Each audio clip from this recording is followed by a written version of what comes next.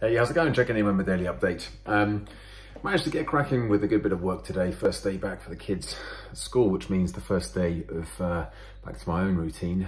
And uh, I do like a bit of a routine. so it was it was pretty pretty well planned and pretty well executed, I'd say. Uh, probably above average uh, when that uh, when that's concerned. I'm usually pretty good at making plans, but sometimes the execution does uh, let me down somewhat. But I got done the things that I really set out to get done. Um, partly maybe that was because I really do have my feet to the fire now with this uh, new program for the app, which is uh, due to start on Monday next week. Um, and I managed to record uh, four of the videos for that today, which I was really pleased about, and it just seemed to flow very well.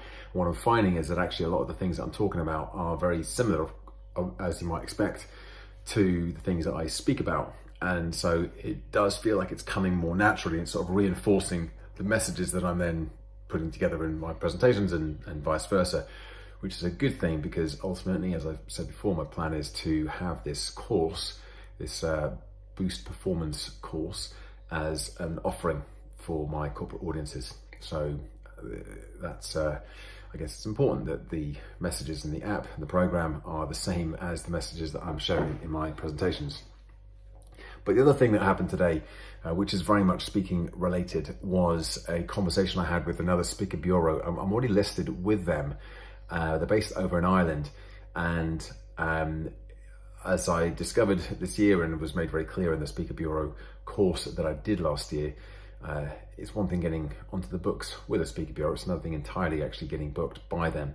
But we had a really good meeting where it's a much smaller outfit um, and I spoke to the main booker who works with the clients and uh, gets to know what they want and to recommend speakers and uh, really just share a lot more about who I am, what I speak about, what makes me different, what the messages are, my approach, uh, and a bit of my background really. So it's just a good opportunity to really get to know them and what their their customers and clients are, are looking for, the kinds of events that they they tend to do, and and also, as I said, share a little bit more about me as well. So it feels like there could be a good relationship there going forwards.